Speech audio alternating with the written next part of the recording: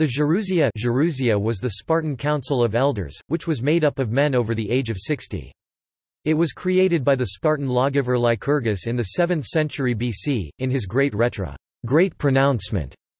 According to Lycurgus biographer Plutarch, the creation of the Gerousia was the first significant constitutional innovation instituted by Lycurgus. The Gerousia consisted of 30 members in total, of whom 28 had to be over the age of 60, and the remaining two members were the two Spartan kings, regardless of their age. Other than the kings, the members of the Gerousia were elected, and served for life.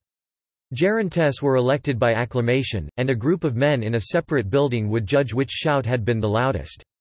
These elected members included a number of members of the two Spartan royal houses, and membership was probably restricted to aristocrats. The Gerousia had two major roles.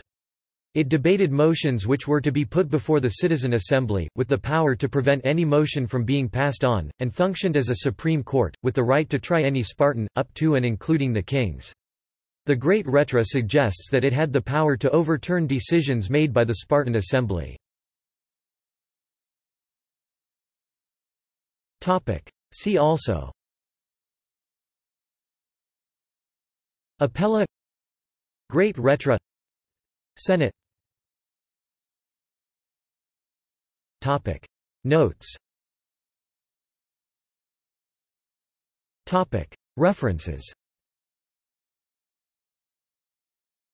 Cartledge, Paul 2003, The Spartans, An Epic History, London, Pan Books, ISBN 978-1-4472-3720-4 Holland, Tom 2009, Persian Fire, London, Abacus, ISBN 978-0-349-11717-1 Schultz, Fabian 2011, Die Homerischen Rat und die Spartanische Gerousie, Düsseldorf, Wellem Verlag.